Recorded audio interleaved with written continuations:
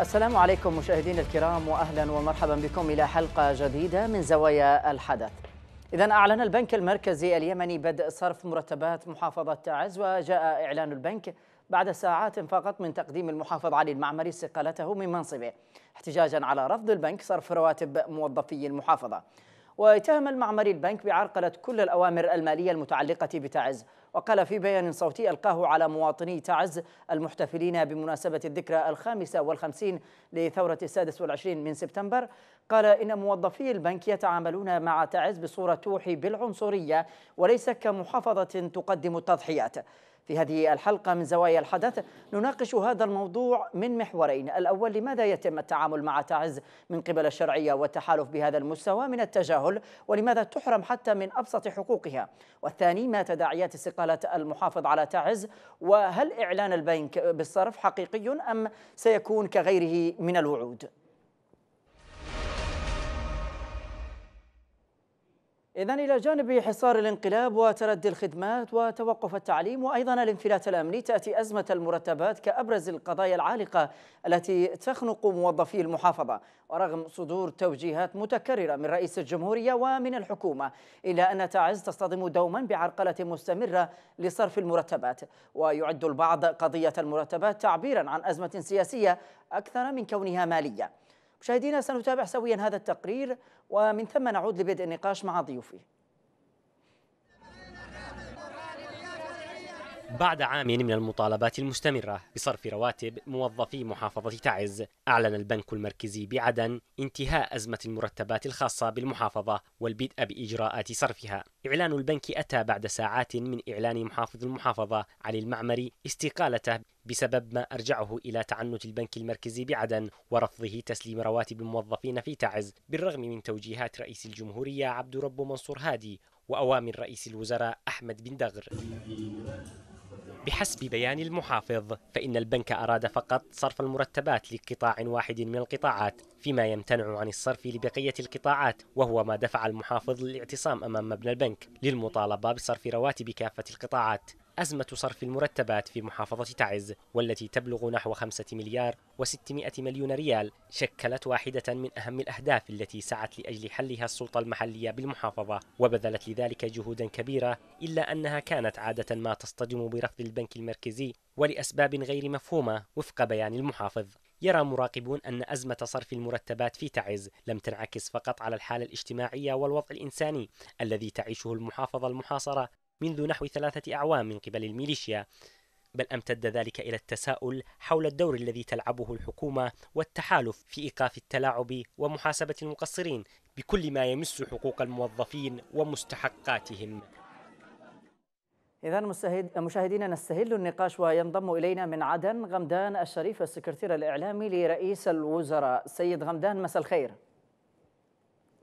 مساء النور أخي العزيز وكل عام وأنتم وشعبنا اليمني بألف خير بمناسبة الذكرى الخامسة والخمسين لثورة السادسة والعشرين من سبتمبر. وأنت بألف خير وأنت بألف خير أستاذ شكرا لك. ولكن نبدأ معك. البعض يقول سيد غمدان أن تعز بالإضافة إلى كونها تعاني من حصار الانقلاب إلى أنها تعاني أيضا من حصار آخر مفروض عليها من الشرعية. ما ردكم؟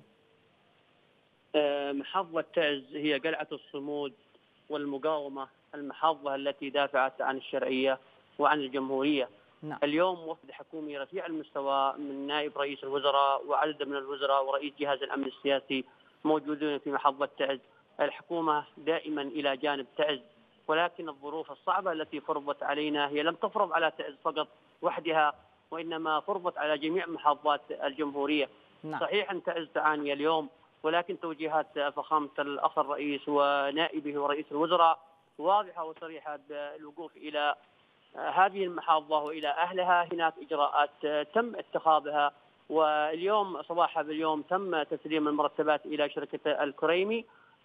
هناك صعوبة في الإجراءات.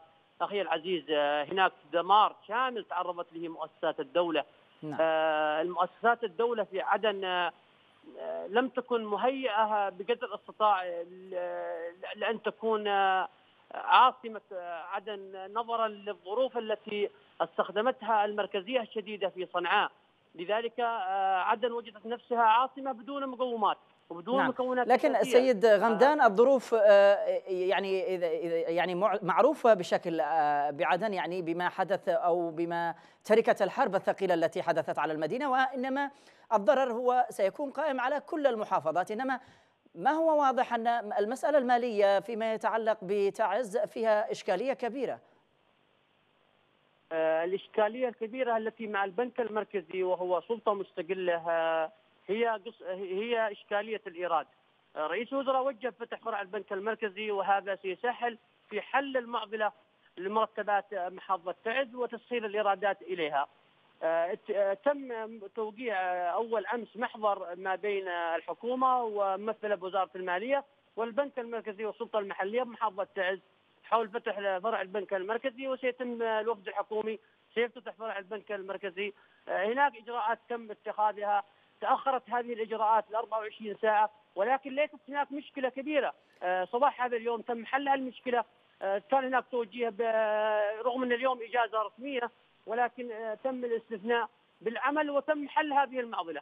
نعم سيد غمدان سيد غمدان هنا نقطة. يعني هناك توجيهات من قبل أشهر من رئيس الجمهورية وأيضا قبل آه، يومين أو ثلاث أيام كان آه، آه، يعني إعلان من قبل رئيس الوزراء بالتعهد بمتابعه مسألة وصول المرتبات إلى شركة الكريمي وصرفها لموظفي تعز. فنتفاجأ أنه محافظ تعز يقدم استقالته بشكل واضح وصريح أنه البنك المركزي يتعامل بنوع من التعالي والعنصرية تجاه المحافظة. كيف ترون ذلك؟ أخي ليست هناك البنك المركزي هو بنك المركزي للجمهورية اليمنية لجميع المحافظات. ليست بهذه اللهجة التي تتكلم عنها. هي آه، مثل ما ذكرت لك هناك آه، هي ليست لهجتي وإنما لهجة المحافظ يعني حددها في بيانه. نعم أنا اكد لك أخي إن في إجراءات إجراءات حقيقة يعني كانت معقده ولكن تدخل رئيس الوزراء بتوجيهات من فخامه الرئيس. حلت الموضوع يومنا هذا وتم الصرف واعلن البنك المركزي اليوم. إنه نعم. بناء على توجيهات فخامة الرئيس ورئيس الوزراء تم صرف هذه المرتبات لشركة الكريمي، أخي العزيز تاخر هناك مشكلة تأخيرها إلى 24 ساعة ولكن الحمد لله في آخر المطاف تم صرف هذه المرتبات. نعم. لكن ال ال ما تم يعني هل كان يتطلب من المحافظ تقديم استقالته كي كي تتم الاستجابة؟ بينما الأمر هو من ثلاث أيام لم لم يبت فيه. آه ذكرت لك أخي العزيز إن المشكلة ما بين البنك المركزي وهي آه فتح فرع البنك المركزي في محافظة تعز وتأخر آه، تاخر صرف المرتبات نهاية يوم أمس وحتى إغلاق الدوام نظرا لعدم آه، وجود الموظفين الكافيين لذلك. ولكن في صباح يومنا هذا تم آه، وجود الموظفين في البنك المركزي وتم تسليم المرتبات. أخي العزيز قلت أرجع وأكرر. إننا آه، في آه، إن البنك المركزي وكل مؤسسات الدولة في عدن تعيش آه، حالة بناء. هي ليست مكتملة. عدد الموظفين لا لا يقارن ب 20 ب 20% من الذين كانوا في مؤسسات في العاصمة صنعاء. نحن في حالة بناء. فالأخطاء مجرد أن تكون وتتكرر ولكن نحن نعالج الأخطاء. إذا حدث خطأ يوم أمس فإن فإن تصحيحه تم اليوم. لذلك نحن يجب علينا أن نتحمل ذلك وأن نبذل كل الجهود حتى آه، تخرج البلاد من المحنة التي هي فيها بسبب ميليشيات الانقلاب التي فرضت على اليمن واقعا آه، تعسفيا مدمرا أنهك البلد وأدخلها في نفق مظلم.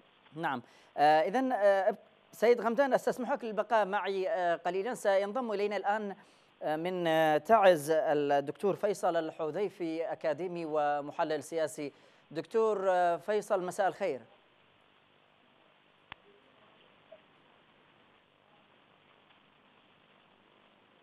دكتور فيصل هل تسمعني؟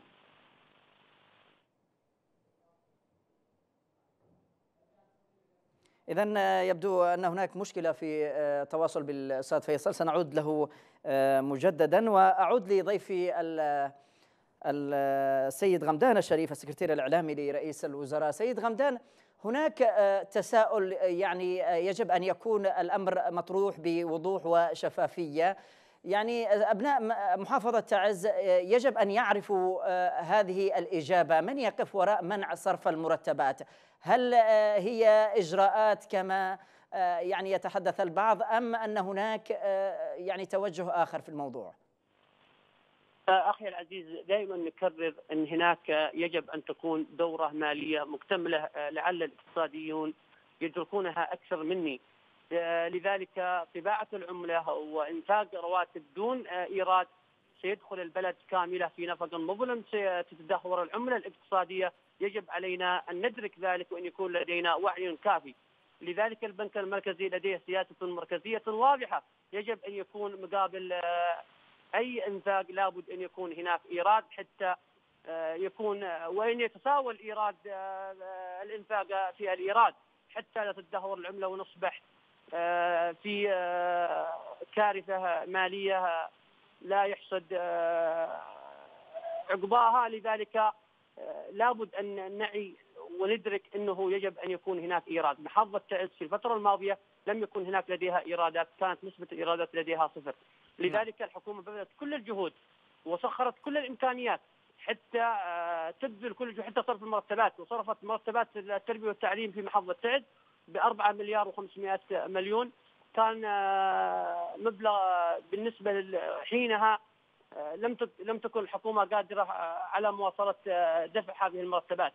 اليوم بعد إجراءات حثيثه وجهود من السلطة المحلية ومن الحكومة استطعنا أن نفتح فرع بنك مركزي سيتم فتحه فتحه خلال اليومين القادمين في نعم. محافظة تعز من خلال فرع البنك المركزي سيتم تصفير كل الإيرادات آه، لكن مسألة الإيرادات آه، سيد غمدان يعني المحافظة تعيش حالة من الحرب وأيضا حالة من الحصار قبل آه، أن يعني تفكر الحكومة بمسألة الإيرادات تفكر في مسألة حل القضية وأيضا تحرير هذه المحافظة من من من القتال والحرب التي تشنها عليها الميليشيات الانقلابية. أؤكد لك أخي العزيز حين حين تدفع الحكومة مبلغ 4 مليار و500 مليون في أي محافظة من المحافظات. وال 4 مليار و500 مليون تذهب لا ترجع لا تعود إلى البنك المركزي، ما دفعت الحكومة لا يعود إلى البنك المركزي، لا تكون هناك دورة مالية، لذلك تضطر آه، هناك شحة في السيولة، انعدام في السيولة، لماذا؟ لأن هذه الإيرادات لا تورد، المبالغ التي تصرفها الحكومة لا تعود إلى البنك المركزي، هناك كارثة مالية. أخي العزيز طباعة اكرر لك طباعة العملة. وإهدارها دون رجوعها إلى البنك المركزي يسبب ضياع للبلد ودخوله إلى نفق. هناك ميليشيات تستخدم أقدر الوسائل وتقوم بأخذ هذه الأموال التي تم طباعتها وتسخرها آه، في خزائنها حتى يتم العبد بهذه الأموال. أخي نعم. العزيز إذا صرفنا هذه الأموال دون أن يكون لها مرجع أو دورة مالية فإننا سنصبح عند كارثة مالية، كارثة اقتصادية. آه، المشكلة نحن بالنسبة المبالغ التي يتم دفعها يجب عليها أن تعود إلى البنك المركزي مجددا حتى تنتظم الدورة المالية. وهذا لن يحل بشكل جذري إلا في حال حررت المحافظة بشكل كامل وفرضت آه، الدولة سلطتها داخل المدينة وأيضا فعلت مؤسساتها. اذا على, آه، على الاقل المبالغ على الاقل المبالغ التي نصرفها كمرتبات تعود تكتمل الدورة وتعود إلى البنك المركزي حتى تستمر العملية بانتظام. نعم. آه، نحن لا لا لا نطلب من تعز أن أن تسلم إيرادات 5 مليار. لو لو سلمت مليار فقط الحكومة المركزية تدعم ذلك، نريد انتظام الدورة المالية، كل الأموال التي تذهب تنتظم تعود إلى البنك المركزي، لا تروح إلى الصرافين، لا تروح إلى أجهزة فساد أخرى كالانقلابيين وبنكهم آه، في صنعاء، آه، لذلك نريد انتظام الدورة المالية، البنك المركزي حريص كل الحرص على انتظام الدورة المالية، والإجراءات التي يتخذها البنك المركزي هي آه، إجراءات لحفظ المال العام وكذلك لاقتصاد يعود إلى اقتصاد البلد حتى لا يتدهور هذه العملة. نعم، سيد آه، يعني غمدان هو في نهاية المطاف الحل آه، لا يوجد سوى بيد الحكومة في هذا الجانب، سأعود آه، إليك لكن سأرحب بالدكتور فيصل الحذيفي أكاديمي ومحلل سياسي سينضم إلينا من تعز، دكتور فيصل مساء الخير. مساء النور أهلا وسهلا. أهلا بك دكتور فيصل، ما تحليلك لطبيعة أزمة مرتبات تعز؟ الموضوع لا يتعلق فقط بمرتبة تعز الموضوع يتعلق بمرتبات موظفي الجمهورية اليمنية من سقطرى والمهرة حتى صعدة فقط تعز يضاف إليها معاناة أكبر باعتبار أنها تحت الحرب والحصار وبالتالي كان يفترض أن يضاف إليها آه، الإغاثة الدائمة والدعم الدائم عن غيرها. فالمشكلة لا ينبغي أن نختزلها بهذا الاختزال. نعم لكن آه، هناك محافظات وهناك أيضا مناطق قد تصل المرتبات بين حين وآخر لكن كما هو معروف تعز آه، تعاني أزمة من يعني من أكثر من عشرة أشهر بدون مرتبات. المرتبات منقطعة من 12 شهر على اليمن كامل وليس من 10 أشهر. وما هو ما صرف لا يعد مرتبا بقدر ما يعد ضمن اجتماعي. لا يسمى المرتب مرتب إلا إذا كان له ديمومة في الصرف الشهري. أما إنك تقطع المرتب عام كامل ثم تأتيني بشهر هذا لا يسمى مرتب هذا يسمى ضمان اجتماعي. نعم. آه، إلا إذا إلا إذا كان هناك إغاثة دائمة وبالتالي ممكن نحتسبه مرتبا. فالموضوع لا ينبغي أن يختزل. أرجو من الإخوة الإعلاميين في جميع برامجهم أن لا يختزلوا الوضع بتعز. تعز معاناتها كبيرة في الحرب والحصار ولكنها كغيرها من جميع محافظات الجمهورية اليمنية لا تستلم مرتبات كغيرها نعم. إلا القليل. نعم. دكتور أيضا أدت أزمة مرتبات آه، تعز آه، إلى استقالة المحافظ علي المعمري ثم إعلان البنك بدء الصرف. ما قراءتك للاستقالة والأزمة بينه وبين البنك؟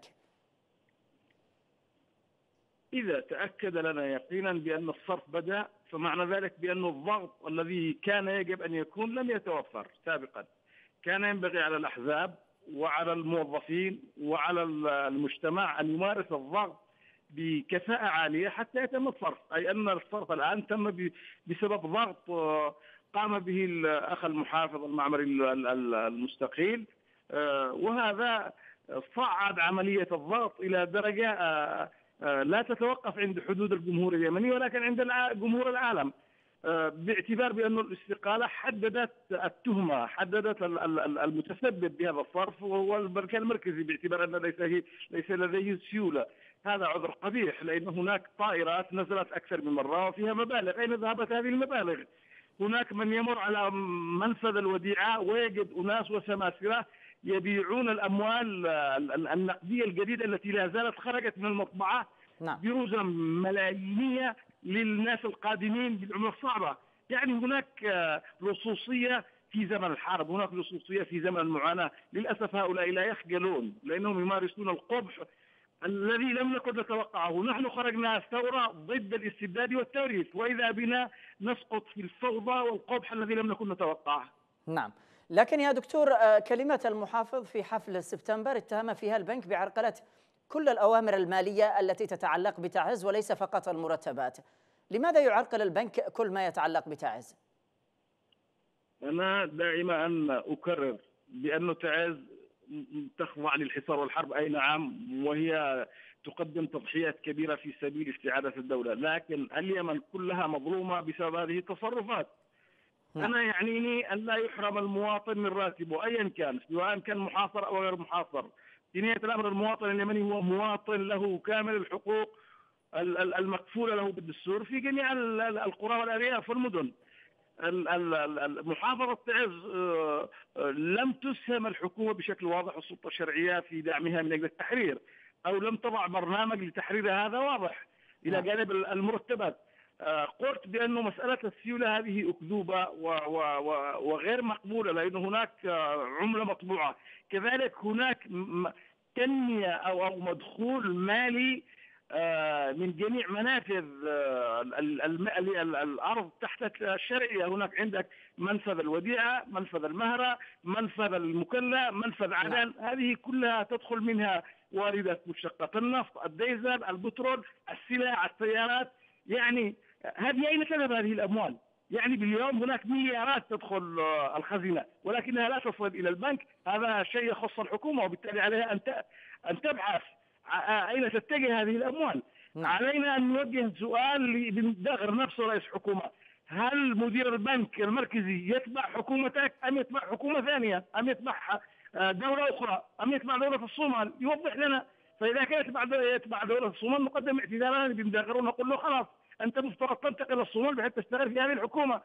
أنت لا تمثل. لأنه بمقدور بن داغر أن يقدم اقتراحا لتغيير مع وزير المالية لتغيير مدير البنك لأنه يرفض قرارات جمهورية وتوجيهات رئاسية وتوجيهات حكومية. نعم. يعني هذه عصابة ليست عمل حكومة للأسف. رئيس الجمهورية وهو يعلم بأن عاما كاملا من قطاع الراتب وبتوجيهات متكررة وفيها سبب معين ينبغي أن يتتبعوا من هو المتسبب ويغيره القرار السيادي برئيس الجمهورية ورئيس الحكومة. عليهم نعم. أن يعالجوا كل موظف مهما كان موقعه. إذا كان سيعصي الأوامر ويرمي بها ويتعامل آه، تعاملها عابر الحدود مع جهات أخرى. فهذا لا يلزمنا وعليهم أن يتحملوا المسؤولية في تغييره. نعم. ابقى معي دكتور سأعود لأكمل معك. أذهب إلى ضيفي الآخر السيد آه، غمدان الشريف السكرتير الإعلامي لرئيس الوزراء. سيد غمدان آه، كما سمعت ضيفي الآخر الدكتور الحذيفي يقول أن أنه يريد إيضاح من رئيس الوزراء فيما إذا كان رئيس البنك المركزي اليمني يتبع حكومته أم أم أنه يتبع ماذا؟ إذا كان هناك أموال آه، تباع على الحدود اليمنية وأيضا آه، هناك توجيهات أيضا لرئيس الجمهورية ورئيس الوزراء ترفض أكثر من مرة وآخرها آه، التي تسببت باستقالة المحافظ. أخي العزيز دعني أولا أعرج على ما قاله ضيفك العزيز الذي تجاهل كل الجهل أن الميليشيات الإنقلابية تستحوذ على 60% من الإيرادات آه، الإيرادات التي في الوطن ومن ضمنها إيرادات محافظة تعز التي آه، فيها المصانع وفيها آه، شركات الاتصالات والمؤسسات غيرها.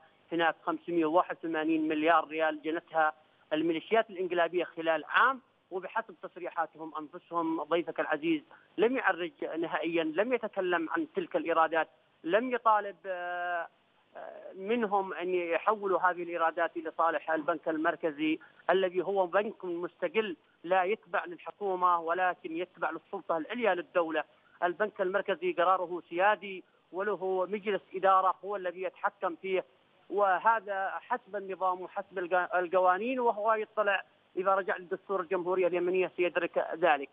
نعم. آه، البنك المركزي له سياسة مالية واضحة يتبعها لذلك البنك المركزي يتبع آه، سياسة الإيراد والإنتاج ولكننا آه، لحد يومنا هذا 60% من إيراداتنا تذهب إلى الميليشيات الإنقلابية وتسخرها لصالح لقتلنا ومن ضمنها محافظة تعز تعز الأبية الصامدة تقتل بهذه الإيرادات.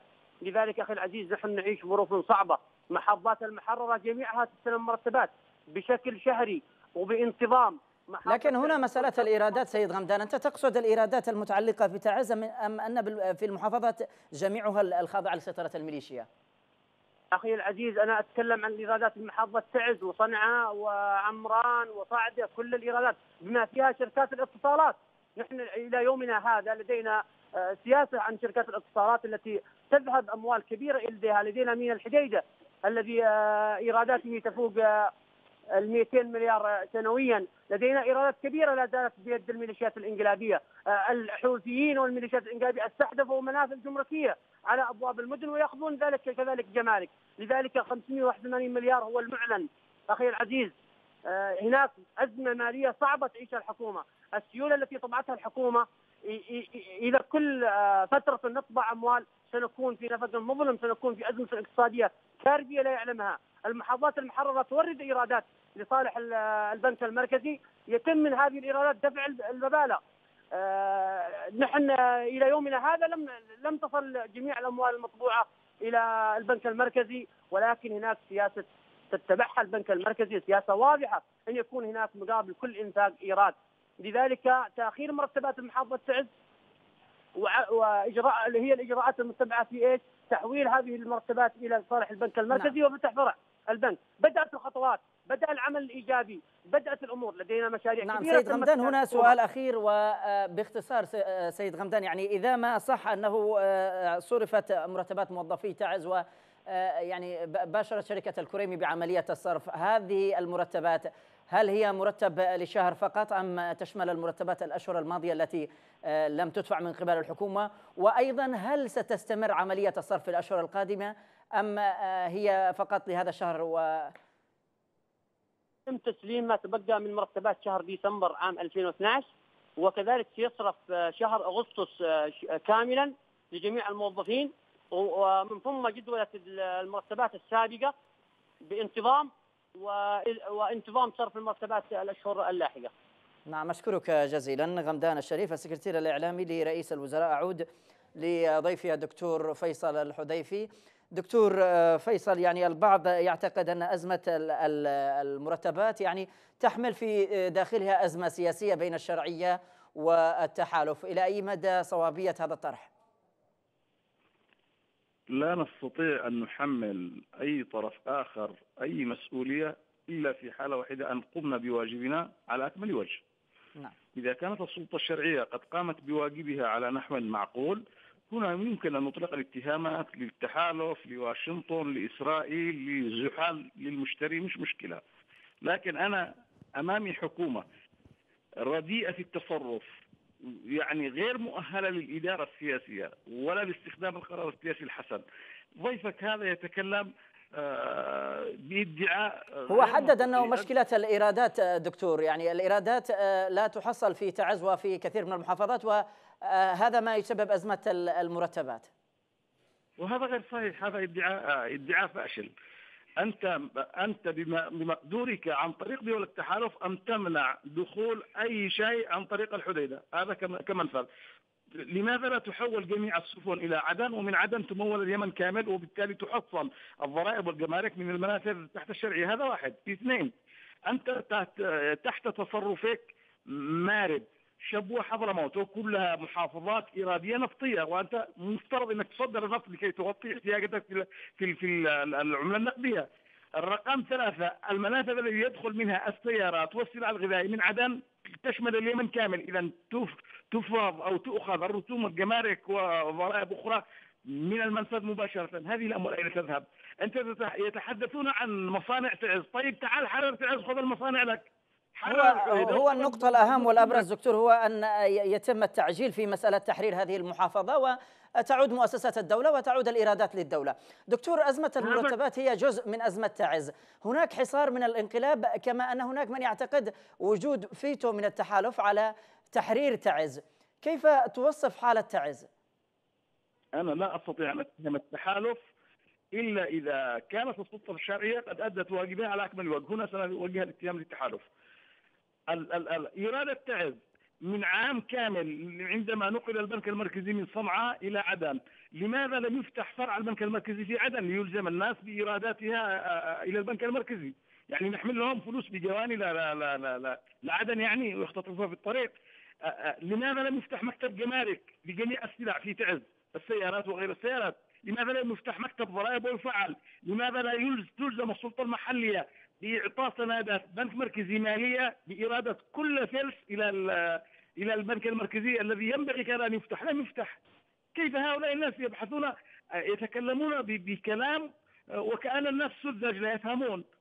عيب هذا الكلام عيب هذا الكلام. يعني الآن 80% كما تقول الحكومة الشرعية بأنها تحت محررة.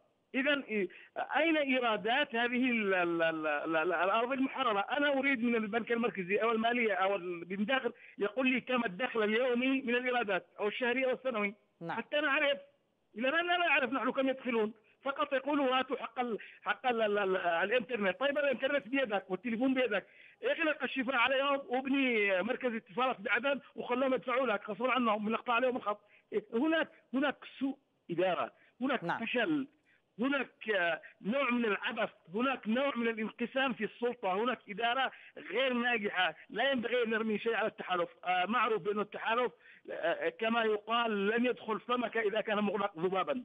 نعم. إذا وضحت الصورة. أشكرك جزيلا الدكتور فيصل الحذيفي أكاديمي ومحلل سياسي كنت معنا من تعز. مشاهدينا بهذا القدر نكتفي ونصل إلى ختام حلقة الليلة من زوايا الحدث.